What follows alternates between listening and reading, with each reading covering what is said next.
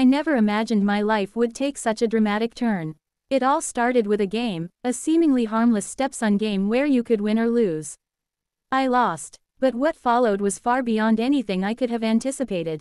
You lost, Brad, she said with a hint of finality in her voice. But all is not lost. You will keep your part of the inheritance if you agree to be my son's sissy girlfriend. You will be perfect for a sissy daughter-in-law. I was stunned. The inheritance was a significant sum, a life-changing amount of money. I hesitated, but the reality of my financial situation left me with little choice. Reluctantly, I agreed. My transformation began almost immediately. I was dressed in a bright yellow, frilly dress that seemed more suited for a doll than a boy of 16. My hair was styled in soft curls, and makeup was applied to my face until I barely recognized myself in the mirror. I clutched a bouquet of yellow flowers, my heart pounding in my chest. Standing there in the uncomfortable outfit, I felt a strange mix of emotions. Humiliation, yes, but also a peculiar sense of curiosity. What did this mean for my future? What would people think? Most importantly, what did her son think? Her son, Michael, was a year older than me. He had always been kind, if somewhat reserved. When he saw me for the first time in my new attire, his eyes widened in surprise, but then he smiled gently. Brad, you look nice, he said, his voice soft. I guess this means we're dating now. I nodded, feeling my cheeks flush with embarrassment. I guess so. The days that followed were challenging. I had to navigate school, friends, and family, all while maintaining this new persona. Michael was supportive, helping me through the awkward moments and standing up for me when needed. Over time, the initial embarrassment faded, and I began to embrace my new identity. I discovered a side of myself I never knew existed, and I started to enjoy the clothes, the makeup, and even the attention. Michael and I grew closer, our relationship blossoming into something genuine and heartfelt. He was patient and understanding, always there to hold my hand and reassure me. As time went on, my transformation from Brad to my feminine self, Brenda, became more than just a necessity for the inheritance. It evolved into a journey of self-acceptance and genuine change. At first, adopting a feminine name like Brenda felt odd. It was a constant reminder of the game I lost, the agreement I made. But gradually, Brenda became more than a name, it became a part of my identity. I learned to walk gracefully in heels, style my hair in various feminine ways, and apply makeup with confidence. Michael was always by my side, encouraging and supporting me every step of the way. Our relationship deepened as we spent more time together. What started as a forced companionship blossomed into a genuine romance.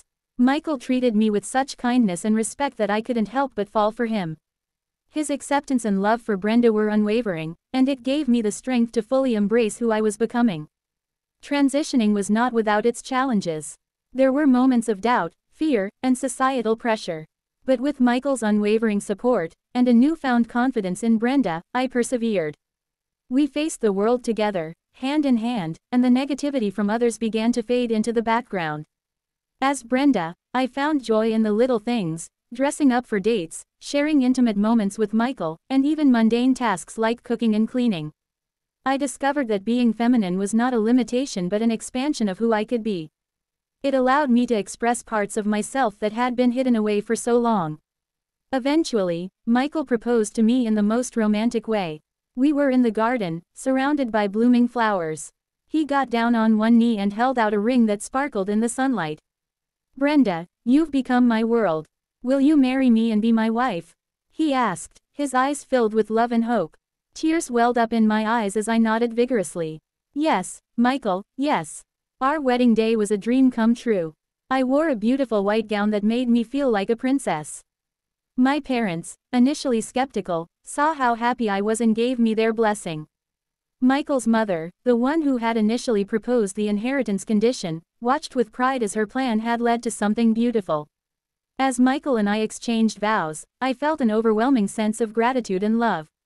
Becoming Brenda had led me to this moment, to the man I loved, and to a future filled with promise and happiness.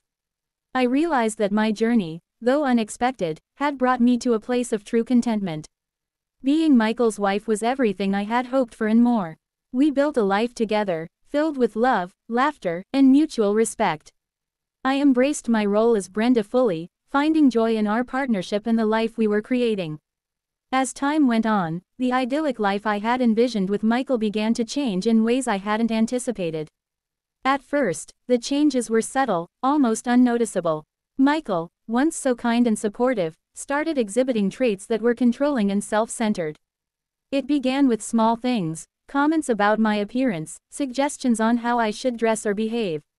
Initially, I thought he was just trying to help me navigate my transition, to make me feel more comfortable and confident as Brenda. But gradually, his suggestions turned into demands. Brenda, you should wear this dress tonight, he'd say, handing me an outfit that was more revealing than I'd ever feel comfortable in. I want you to look perfect for me. While I appreciated his attention to detail, the underlying pressure started to build. His comments about my makeup, hair, and clothes became more frequent and insistent. I began to feel less like a partner and more like a doll he could dress up to his liking. As months passed, Michael's behavior became more overtly narcissistic. He craved admiration and attention, not just from me, but from everyone around him. He reveled in the compliments he received about his beautiful wife, and would often parade me at social gatherings as if I were a trophy. Brenda, you're stunning, he'd say in public, his voice dripping with pride. Everyone is so envious of us. But behind closed doors, his demeanor changed. He became more demanding and less considerate of my feelings. He started pushing boundaries, insisting I wear increasingly seductive and provocative outfits. He wanted me to embody a hyper-feminine, almost exaggerated version of a woman, a seductive sissy wife designed to satisfy his fantasies and boost his ego. Brenda, I need you to be perfect for me, he'd say, his eyes narrowing if I hesitated. Do it for us, for our image. I felt trapped. The love and support that had once defined our relationship were overshadowed by his growing need for control and validation. My attempts to discuss my discomfort were met with dismissal or manipulation. Don't you love me, Brenda? Don't you want to make me happy? He'd say, turning my concerns into accusations of disloyalty. Despite the growing unease, I continued to comply, hoping that the man I fell in love with would return. I maintained my appearance meticulously, adhering to his increasingly specific demands. I became adept at dressing seductively, walking with an alluring grace, and projecting the image he wanted. But inside, I felt my sense of self eroding. The turning point came during a particularly lavish party he hosted. Surrounded by guests, he made a grand show of me, boasting about my transformation and how perfect I was as his wife. The looks and whispers from others, the way they ogled and objectified me, made me realize how far I had drifted from the person I once was. As time progressed, Michael's demands and the public persona I was forced to maintain took a heavier toll on my sense of self. The facade of the perfect, doll-like wife became more entrenched in our lives, and my discomfort grew. However, a more painful revelation was yet to come, one that would further challenge everything I thought I knew about our relationship. I discovered Michael's affair almost by accident. He had become sloppy with his phone, his attention caught between maintaining his image and indulging in his new secret.